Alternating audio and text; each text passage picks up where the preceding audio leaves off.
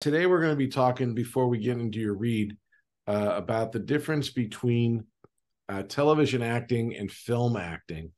which I say in the past because in the 60s, 70s, 80s, through the 90s, and up, you know, the whole history of Hollywood up through the 90s, um,